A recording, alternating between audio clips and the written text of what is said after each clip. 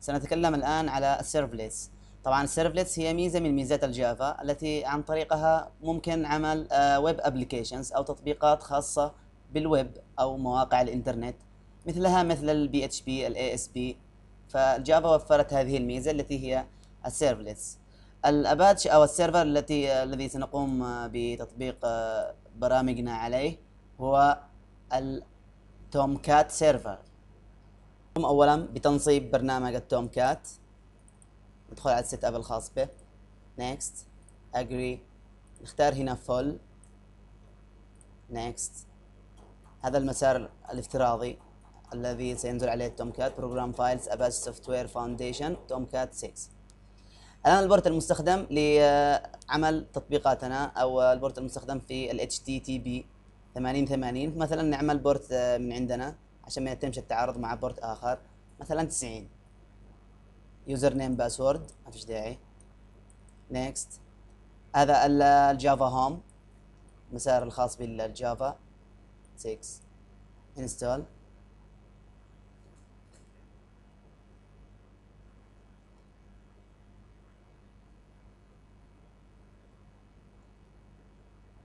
تم اكتمال تحميل البرنامج. الآن سنقول له run apache. Tomcat finish تلقائيا بيروح يشغل ال service الخاصة بال Tomcat. ندخل الآن على Internet Explorer نكتب http localhost.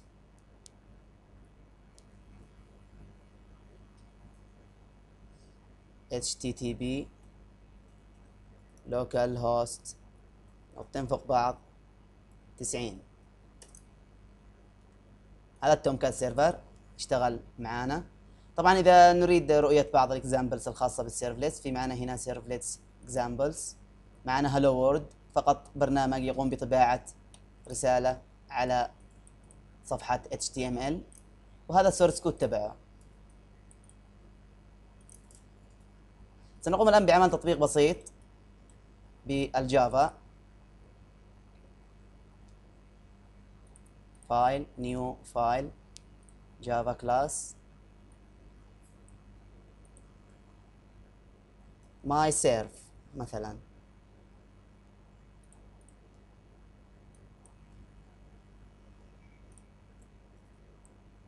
في البداية سنقوم بعمل importing للجافا dot input output stream اللي سنحتاجها لعمل print writer و importing لل javax dot servlet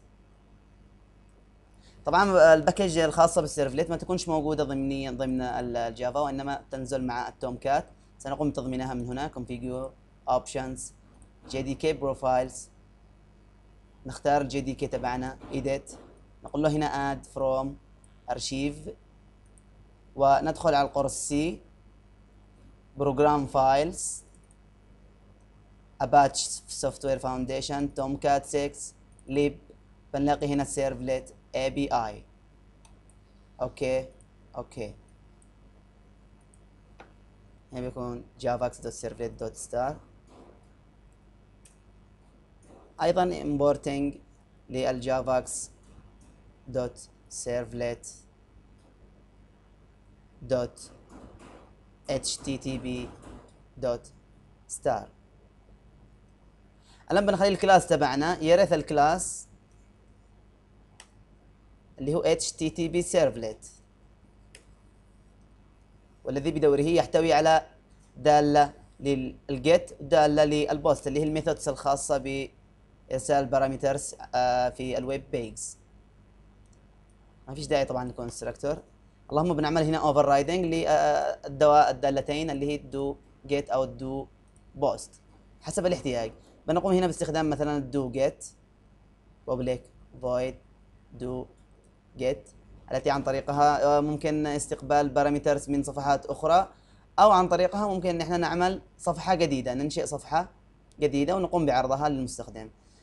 ال do get طبعا تستقبل two parameters ال parameter الأول اللي هو من نوع http servlet request لل request وال parameter الثاني من نوع HTTP Servlet Response لل response تعمل طبعا throws ل input output exception و أيضا throws ل servlet exception أو نفس الحكاية مع الداله do post ونخلي هنا اسمها do post إذا أردنا استدعاء الدالتين سواء do get أو do post سواء كانت ال method تبعنا post ولا get ممكن عن طريق الدالة post. هنا نستدعي الدالة do get. do get. نرسل لها بال request وال response request وال response فسواء عملنا post أو get بتستدعى الداله get الآن سنقوم عن طريق ال response طبعا ال response هي الصفحة التي آه تم استدعاؤها سواء من ال ref أو ال hyper reference أو تم تم استدعائها عن طريق سبميت الآن سنقوم مثلا في حالة آه، استدعاء آه، هذه الصفحة عن طريق ريف مثلا. سنقوم بعرض صفحة html بنقول له هنا response dot set content type اللي هو text html صفحة html الآن سنقوم بالطباعة على هذه الصفحة عن طريق ال print writer print writer لل out يساوي بنربطه مع ال response اللي هو response dot get writer عشان نستخدم ال writer عشان نكون نطبع على سطر سطر. الآن بنقول له هنا out dot println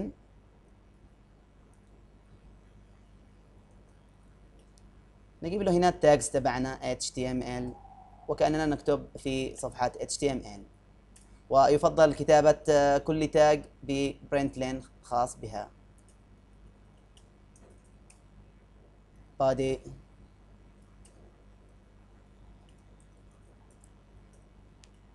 b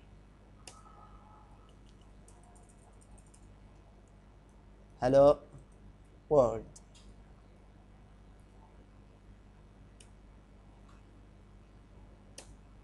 نقوم بإغلاق التاج B ونقوم بإغلاق التاج. body ونقوم بإغلاق التاج. HTML بهذه الطريقة نعمل كومبايل الآن البرنامج تبعنا آه إذا أردنا تنفيذه بالبداية لازم نقوم بنسخ البرنامج هذا. أين تم حفظ هذا البرنامج؟ في القرص C هذا my serv نقوم بنسخ الملف اللي هو dot class إلى ال root الخاص بالأباتش ندخل على القرص C program files Apache Software Foundation Tomcat 6 web applications examples web inf classes. هنا نقوم بلصق ال class الخاص بنا. أيضا لن يتم تنفيذ هذا ال class إلا إلا دخلنا على الملف web.xml لعمل configuration وإضافة ال class الخاص بنا. ضمن هذا الملف الخاص بال configuration نفتحه باستخدام مثلا ال JCreator بنجي هنا بنضيف ال servlet name وال servlet class نفس ال tags هذه ننسخ هذه مثلا. ال servlet name الآن نسميه أي اسم. مش شرط نفس الاسم مثلا mine أو our servlet وال class تبعنا اسمه my serv لازم نجيب نفس اسم ال class هذا my serv. الان نعمل له binding لهذا ال servlet تبعنا مع الصفحة تبعه مع المسار أو ال path الخاص به عن طريق ال binding هنا. ننسخ هذا. اسمه our servlet نفس الاسم اللي مكتوب فوق. our servlet نجيبه المسار. طبعا هذا هو المسار الخاص بال servlets اللي servlet slash servlet وبعدين هنا نجيب له اسم الملف تبعنا اللي هو my serv نعمل حفظ لهذا الملف. ولا نعمل له close الآن سنقوم بعمل صفحة HTML نفتح ال Notepad. HTML وسنقوم مثلا ب body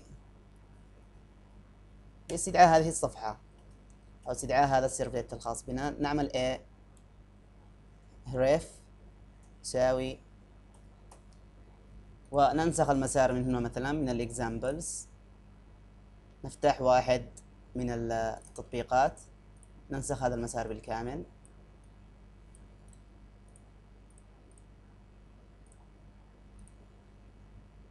ونجيب اسم ال class تبعنا my. serv. نسميه مثلا هذا open it. نغلق ال tag slash a. slash body و slash html نحفظه مثلا. Open mine مثلا نسميها dot html الآن نفتح الصفحة نعمل open it سيتم استدعاء ال hello world اللي هو الخاص ب ال servlet تبعنا هذه الرسالة اللي عملناها hello world okay أما إذا أردنا استقبال parameters من صفحة ونقوم مثلا بإضافة ال parameters التي تم استقبالهم من الصفحة حق ال request نعرضهم على الصفحة حق ال response. سنعمل هنا مثلا فورمة. form. action. تساوي نفس المسار. هذا المسار. بننسخه لهنا. ونعمل مثلا هنا id عبارة عن input type text واسمه مثلا id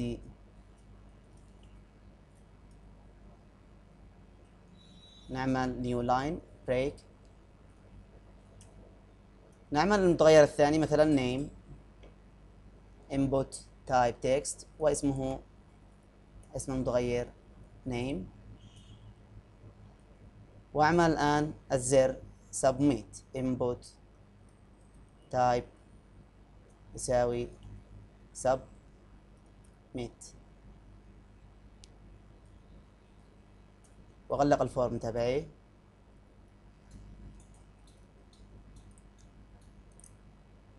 هاي الصفحة تبعنا الآن. نقوم بإدخال على أساس أنه هنا بيانات مثلا رقم واحد. ندخل مثلا الاسم طاهر كو.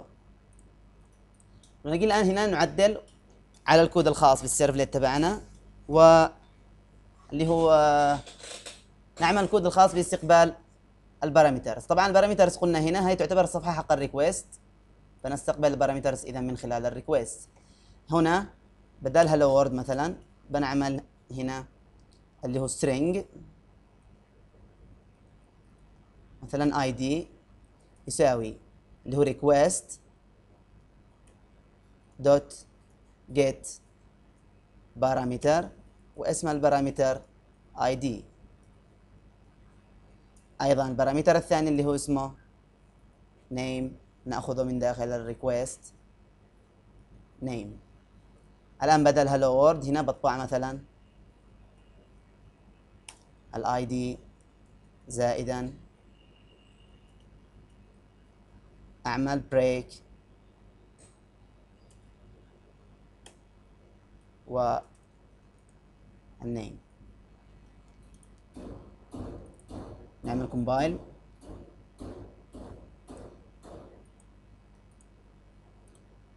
طبعا عشان نقلل من التعب يفترض إنه يكون آه، البرنامج تبعنا نكون نفتحه من هنا. ننسخ الملف dot java إلى داخل ال classes نكون نفتحه من هنا.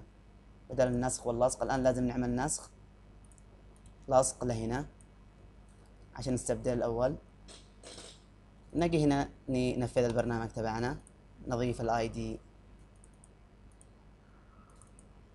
ثلاثة مثلا.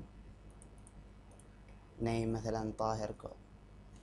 طبعا أحيانا ما يرضيش يشتغل وإنما يتعرف على ال class السابق.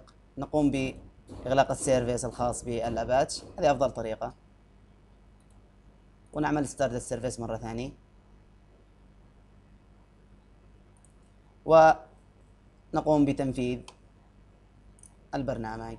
نلاحظ أن الصفحة اللي هي my serv اللي هو ال servlet تبعنا قامت بعرض ال ID وال name الذي تم إرسالهم من خلال صفحة ال request